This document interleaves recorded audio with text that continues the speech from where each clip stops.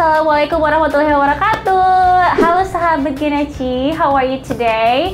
Uh, Kak Sandra di video kali ini bakal uh, menjelaskan ke adik-adik sekalian tentang bahasa Inggris. Lebih tepatnya yaitu nama-nama sayuran. Nah, kira-kira gimana sih nama-nama sayuran dalam bahasa Inggris?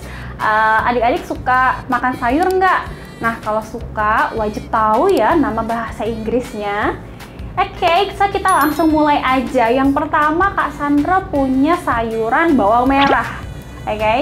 so ini paling penting banget ya. Semua masakan tuh biasanya uh, mengandung bawang merah. Nah, bawang merah sendiri dalam bahasa Inggris adalah shallot.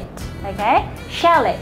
Nah, selanjutnya ada bawang merah, pastinya ada bawang putih dong. Nah, bawang putih sendiri bahasa Inggrisnya adalah garlic. Oke, okay, garlic. Nah, selanjutnya yaitu ada bawang bombay. Nah, ini bawangnya lebih gede ya daripada bawang merah sama bawang putih. Nah, bawang bombay ini namanya adalah onion. Oke, okay? so memang dia awalannya hurufnya O, tapi kita bacanya pakai huruf A. So, onion. Nah, selanjutnya yaitu ada kubis bahasa Inggrisnya yaitu cabbage. Nah, siapa nih uh, adik-adik Gen Aceh yang suka makan kubis? Nah, bahasa Inggrisnya adalah cabbage. Selanjutnya ada jamur. Nah, jamur ini macamnya ada banyak ya. Cuman dalam keseluruhan, kalau kita mau bilang jamur aja, itu bahasa Inggrisnya adalah mushrooms. Mushrooms. Nah, selanjutnya yaitu ada kentang. Nah, ini siapa yang suka makan kentang? Kalau kentang itu bahasa Inggrisnya adalah potato potato. Jadi uh, bukan potato ya bilangnya, tapi yang benar adalah potato. Nah, di bahasa Inggris juga itu ada loh yang namanya sweet potato. Tapi sweet potato ini bukan berarti kentang yang manis, oke? Okay? So hati-hati, sweet potato ini beda. Dia juga salah satu sayuran. Bahasa Indonesianya yaitu adalah ubi. Itu ya, jadi beda antara potato dan sweet potatoes. Nah, selanjutnya ada jagung atau corn. Oke, okay, corn selanjutnya yaitu ada terong. Nah, terong ini Kak Sandra mau kasih tahu ke adik-adik sekalian bahwa penyebutan terong itu ada dua macamnya, yaitu bahasa Inggris dari Inggris sendiri atau bahasa Inggris dari Amerika, uh, antara UK dan uh, eh, US. Kalau misalnya dia US yang dari Amerika, dia bakal bilang eggplant. Nah, ini namanya eggplant nih di Amerika. Nah, kalau di Inggris ini namanya aubergine aubergine. So ada dua ya cara penyebutan. Yang pertama tadi kalau di US dia bakal bilang eggplant, tapi kalau di UK atau di Inggris mereka bakal bilang aubergine. Nah selanjutnya yaitu ada cabe atau cabai ya dalam bahasa Inggris namanya adalah chili.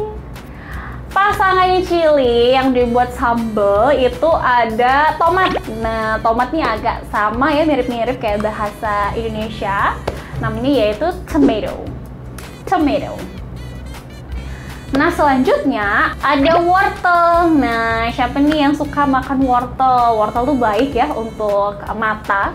Nah wortel sendiri dalam bahasa Inggris yaitu carrot. Carrot.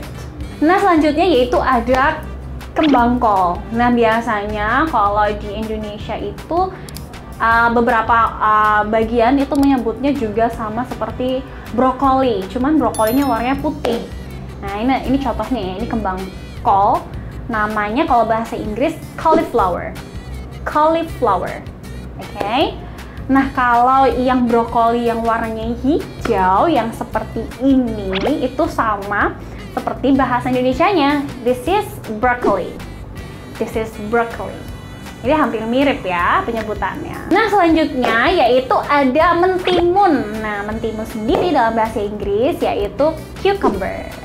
Oke, okay, cucumber. Do you like cucumber?